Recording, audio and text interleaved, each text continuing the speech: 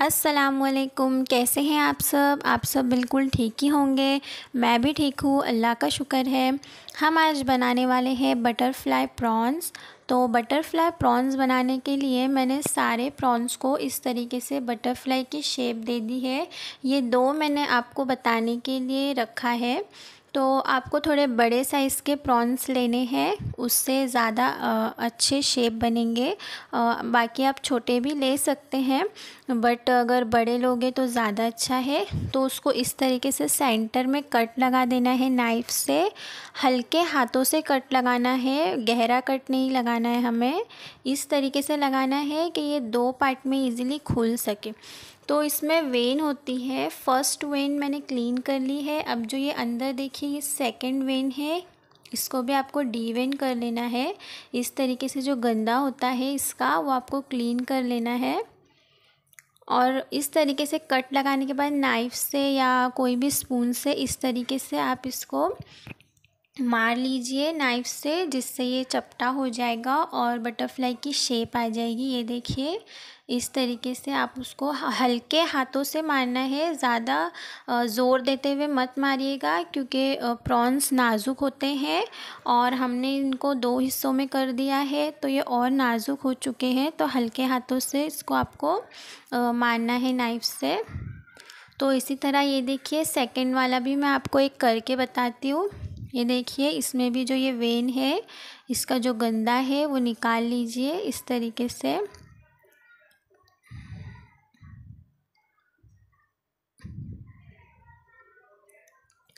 तो इसको भी मैंने निकाल लिया है और कट लगा लिए हैं और हल्के हाथों से इसको इस तरीके से आप मारते जाइए तो ये चपटा हो जाएगा और बटरफ्लाई की शेप आ जाएगी। तो सारे प्रॉन्स को हमने बटरफ्लाई की शेप दे दी है। अब हम इसको सबसे पहले मैरिनेट कर लेंगे मसालों में। तो सारे प्रॉन्स को हम प्लेट में निकाल लेंगे।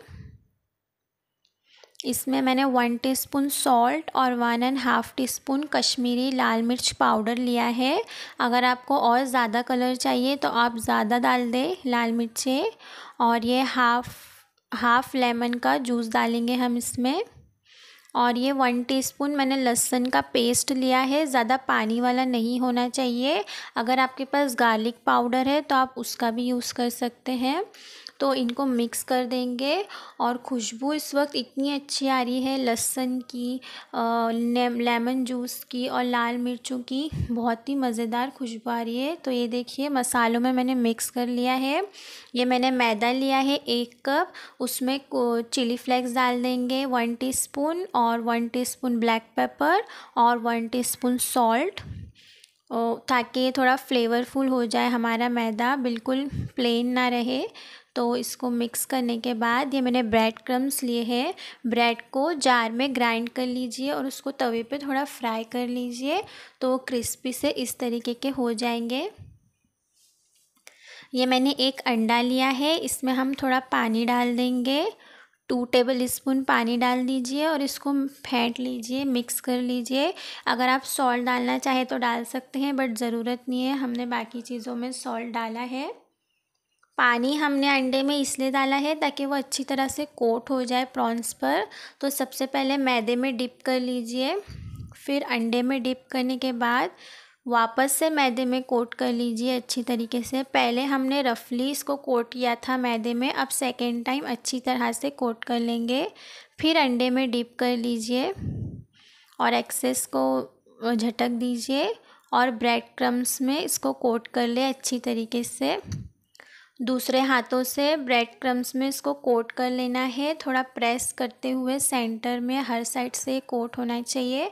तभी हमारे प्रॉन्स क्रिस्पी बनकर रेडी होंगे और ये क्रिस्पी ही मज़ेदार लगते हैं। तो सेकंड वाला भी फ़र्स्ट हम मैदे में डिप करके फिर अंडे में डिप करेंगे। फिर इसको मैदे में डिप कर लेना है। फिर अंडे की कोटिंग करेंगे हम इस पर फिर इसको हम ब्रेड क्रम्स में डिप करेंगे और सारे प्रॉन्स को हम इसी तरीके से बनाकर रेडी कर लेंगे। आप चाहें तो इसको इस तरीके से सारे ब्रेड क्रम्स में लगा के पॉलीथीन में डाल के कोई भी फ्रीज़ भी कर सकते हैं। और जब आपका दिल चाहे तब आप इसको निकाल के फ्राई करके खा सकते हैं। तो ये देखिए, सारे प्रॉन्स को मैंने इस तरीके से डिप करके रख दिया है। इस वक्त आप इसको फ्रीज़ में रख के आधा घंटा उसके बाद भी फ्राई कर सकते हैं बट मैं डायरेक्ट फ्राई कर रही हूँ इसको। तो ऑयल को मैंने ज़्यादा गर्म नहीं किया है लो फ्लेम पर थोड़ा सा हल्का सा गर्म कर लेंगे ऑयल को, वरना कलर ऊपर से आ जाएगा और अंदर से प्रॉन्स कच्चे रह जाएँगे। तो मेरे थोड़े बड़े साइज़ के प्रॉन्स है, इसलिए मैं एक, दोनों साइड पे छः छः मिनट्स इसको पकाऊँगी, यानी पूरा बारह मिनट हमें लगेंगे इसको फ्राई होने के लिए।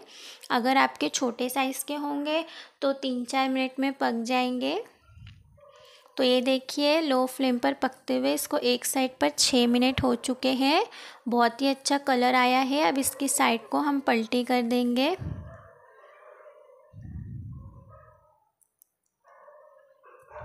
और ये बहुत ही मज़े के और टेस्टी लगते हैं खाने में, आप इसको ज़रूर ट्राई कीजिएगा। तो ये देखिए, दूसरी साइड पर भी मैंने इसको छः मिनट पका लिया है, बहुत अच्छे और क्रिस्पी से बनकर रेडी हुए हैं। इनको हम निकाल लेंगे प्लेट में और बाकी के प्रॉन्स भी इसी तरीके से फ्राई कर लेंगे।